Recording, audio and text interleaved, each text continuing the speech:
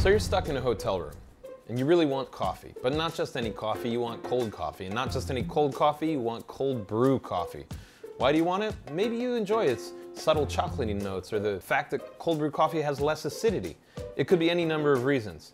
Maybe you're just feeling like, I want to do something weird in a hotel room. The problem with a hotel room is that you don't have a lot at your disposal.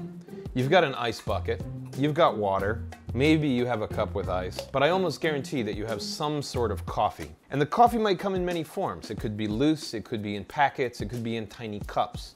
You gotta do whatever you gotta do to get it out of there.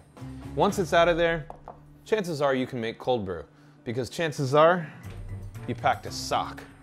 Now to make cold brew coffee out of a sock, I recommend a clean sock and a sock that uh, you don't mind if it turns a little brown. I've got this cute little Groot sock right here. So, follow very carefully. Remove the lid from the ice bucket.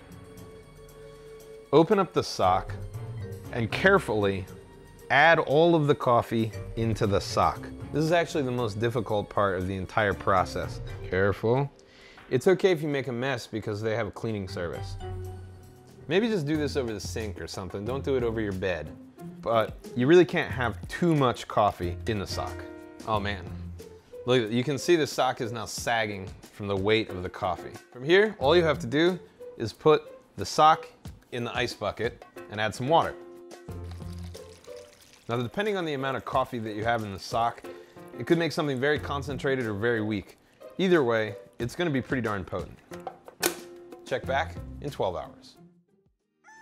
Oh, boy, I could use some cold brew.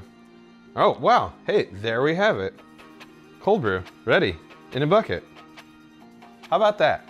Let's give it a test. Looks like cold brew to me.